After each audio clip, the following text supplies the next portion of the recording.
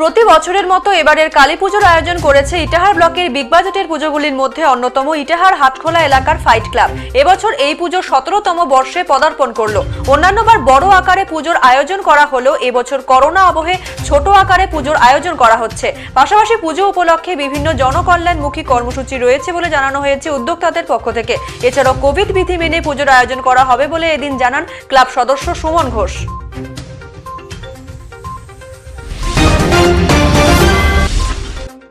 Corona সংক্রমণ রোধে শিক্ষা প্রতিষ্ঠান বন্ধ থাকায় অনেক ছাত্রছাত্রী পড়াশোনা থেকে দূরে সরে গিয়েছে। তাই সেসব পড়ুয়াদের শিক্ষার মূল স্রোতে ফেরাতে শিক্ষা সংক্রান্ত কর্মশালা আয়োজিত হলো ইটাহারে। শনিবার ইটাহার আল আমিন মিশনের উদ্যোগে গোটলু মোড় এলাকায় এই শিবির আয়োজিত হয়। শিক্ষামূলক বিভিন্ন দিক নিয়ে আলোচনা করার পাশাপাশি শিক্ষা বিষয়ক আবৃত্তি, গান, কুইজ সহ নাটক পরিবেশিত হয় এদিনের শিবিরে। কে এ রাজ্জাক, আমিরুল ইসলাম, আব্দুল হাকিম, কাজী আবুল বাসেদ, জুবাইর আলী সহ অন্যান্য বিশিষ্ট ব্যক্তিরা উপস্থিত ছিলেন এদিনের অনুষ্ঠানে।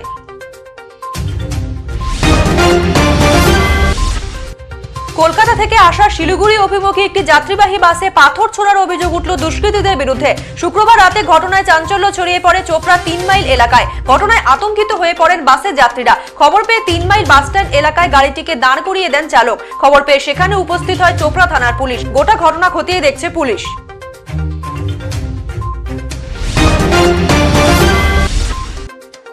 এক যুবকের ঝুলন্ত দেহ উদ্ধারের ঘটনায় শনিবার চাঞ্চল্য ছড়ালো মালদার ইংরেজবাজার থানার নগর কলোনি এলাকায়। পুলিশ সূত্র জানা গিয়েছে, মৃত ওই যুবকের নাম গোড়া মণ্ডল। এদিন সকালে তার ঘরে ঝুলন্ত অবস্থায় তাকে দেখতে পায় পরিবারের সদস্যরা। ঘটনা তদন্ত শুরু করেছে পুলিশ। স্বামী স্ত্রীর মধ্যে ঝগড়ার কারণে সে আত্মঘাতী হয়েছে বলে প্রাথমিক তদন্তে অনুমান পুলিশের।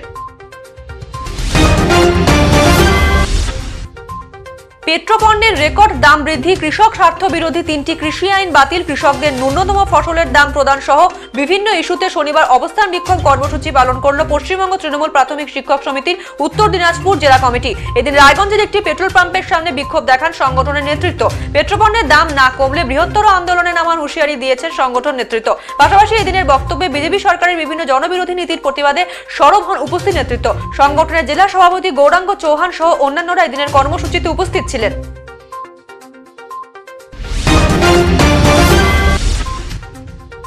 সাম্প্রতিককালে চীনা টুনি লাইটের দাপটে কোণঠাসা হয়ে পড়েছিল দক্ষিণ দিনাজপুরের মোমবাতি শিল্প।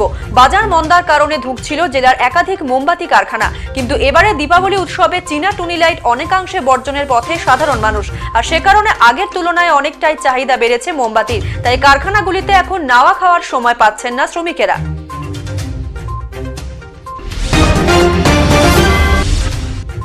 বাজার করে বাড়ি ফেরার পথে পথ দুর্ঘটনায় আহত হলেন এক ব্যক্তি। শনিবার দুর্ঘটনাটি ঘটেছে দক্ষিণ দিনাজপুর জেলার বুনিয়াদপুর পৌরসভা এলাকার সেলিমাবাদ এলাকায়। জানা গেছে, কার্তিক প্রামাণিক নামে পঞ্চাশোর্ধ ওই ব্যক্তি বুনিয়াদপুর থেকে বাজার করে বাড়ি ফিরছিলেন। সেই সময় বুনিয়াদপুর কলেজ মোড় এলাকায় পেছন থেকে একটি মারুতি গাড়ি সজোরে তাকে ধাক্কা মেরে পালিয়ে যায়। আহত ওই ব্যক্তিকে উদ্ধার করে রশিদপুর গ্রামীণ হাসপাতালে নিয়ে এলে আশঙ্কাজনক হওয়ায় স্থানান্তরিত করা হয় গঙ্গারামপুর হাসপাতালে।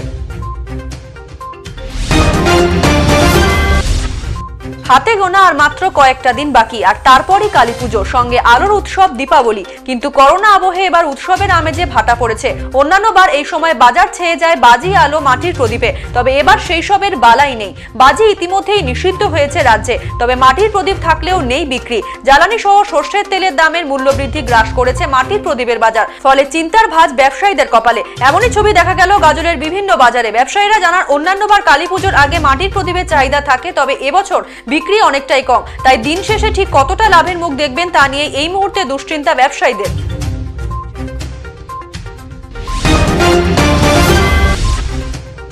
প্রায় দু সপ্তাহ ধরে নিখোঁজ ছাত্রীর খোঁজে তদন্তে নেমে চোপড়ার ডক নদীতে তল্লাশি শুরু করল পুলিশ। পরিবার সূত্রে জানা যায়, গত ষোলোই অক্টোবর থেকে চোপড়া রবীন্দ্রনগর কলোনির বাসিন্দা একাদশ শ্রেণির ওই ছাত্রী নিখোঁজ হয়ে যায়। এই ঘটনায় চোপড়া থানায় দায়ের করা অভিযোগের পরিপ্রেক্ষিতে ঘটনা তদন্তে নেমে পুলিশ একটি সিসিটিভি ফুটেজে দেখতে পায়।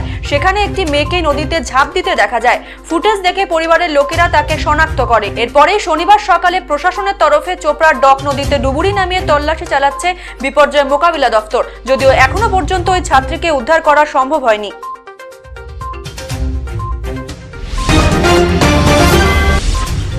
প্রতি বছরের মতো এবছরও শ্যামা মায়ের পুজোর আয়োজন করেছে হেমতাবাদ বিদ্রোহী ক্লাব। এবছর এই পুজো বিয়াল্লিশতম বর্ষে পদার্পণ করল। প্রত্যেক বছর বড় আকারে পুজোর আয়োজনের পাশাপাশি সাংস্কৃতিক অনুষ্ঠানের আয়োজন করা হলেও এবছর করোনা অতিমারির জেরে ভার্চুয়াল প্রোগ্রাম অনুষ্ঠিত হবে বলে জানানো হয়েছে উদ্যোক্তাদের পক্ষ থেকে। থাকবে চোখ ধাঁধানো আলোকসজ্জা এবং মিনি ম্যারাথনের মধ্যে দিয়ে পুজোর শুভারম্ভ হবে। এছাড়াও পুজোকে কেন্দ্র করে বিভিন্ন জনকল্যাণমুখী কর্মসূচি রয়েছে বলে জানান ক্লাব সম্পাদক অভিজিৎ মজুমদার।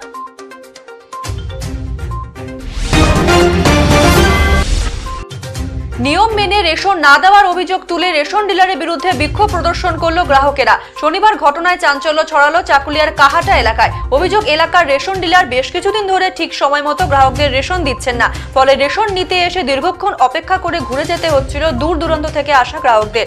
এ নিয়ে শনিবার রেশন দোকানের সামনে বিক্ষোভ দেখায় গ্রাহকেরা। খবর পেয়ে চাকুলিয়া থানার পুলিশ এসে পরিস্থিতি নিয়ন্ত্রণে আনে।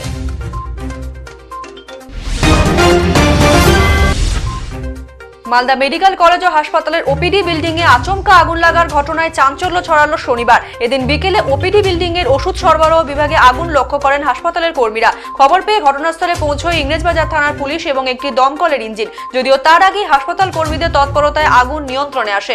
শর্ট সার্কিট থেকে এই আগুনের ঘটনাটি ঘটেছে বলে প্রাথমিক তদন্তে অনুমান পুলিশের।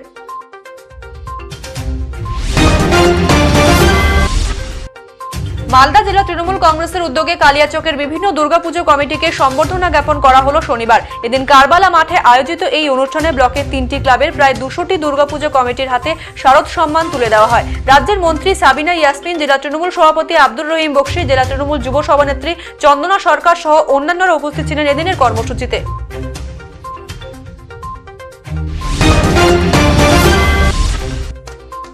শনিবার সকালে ইসলামপুর মহকুমা হাসপাতালের পরিস্থিতি খতিয়ে দেখতে হঠাৎ করে পরিদর্শনে এলো রাজ্যের সংখ্যালঘু উন্নয়ন ও মাদ্রাসা শিক্ষা দপ্তরের মন্ত্রী গোলাম রব্বানি। পরিদর্শন শেষে ইসলামপুর মহকুমা হাসপাতালের পরিষেবা নিয়ে চিকিৎসকদের সাথে কথা বলেন মন্ত্রী। পাশাপাশি এদিন কথা বলেন রোগী ও রোগীর পরিজনদের সঙ্গে। এদিন সংবাদ মাধ্যমের কাছ থেকে পানীয় জলের সমস্যার বিষয়টি জানার পরে হাসপাতালের সুপার ও মহকুমা শাসককে বিষয়টি খতিয়ে দেখে প্রয়োজনীয় ব্যবস্থা নেওয়ার জন্য বলেন মন্ত্রী গোলাম রব্বানি।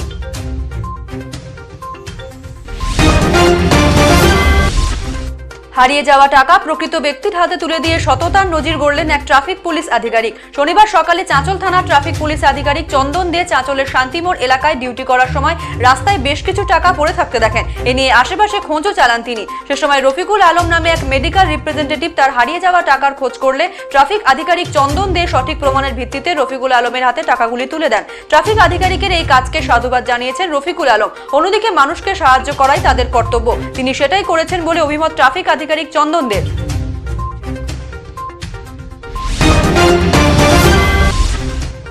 ইউপিএসসি, ডাব্লিউবিসিএস এর পরীক্ষাগুলি নিয়ে ছাত্রছাত্রীদের উৎসাহ দিতে কর্মসূচি নিল উত্তর দিনাজপুর জেলা প্রশাসন। শনিবার জেলা প্রশাসনের উদ্যোগে কর্ণজোড়া অডিটোরিয়ামে এ বিষয়ে একদিনের ওরিয়েন্টেশন শিবির অনুষ্ঠিত হয়। উত্তর দিনাজপুর জেলার বিভিন্ন কলেজ ইউনিভার্সিটি থেকে ছাত্রছাত্রীরা শিবিরে যোগ দিয়েছিল। এদিনের কর্মসূচিতে সরকারি চাকরির পরীক্ষার প্রস্তুতি, সিলেবাস, বই সহ বিভিন্ন বিষয় নিয়ে আলোচনা করেন উপস্থিত সরকারি আধিকারিকেরা। জেলাশাসক অরবিন্দ কুমার মিনা, অতিরিক্ত জেলাশাসক রবি আগরওয়াল, অভিষেক চৌরাশিয়া, পাতিল যোগেশ, অশোক রাও এসপি আশ বর্মা, মহকুমা শাসক অর্ঘ ঘোষ সপ্তর্ষি নাগ সহ অন্যান্যরা আলোচনা সভায় উপস্থিত ছিলেন।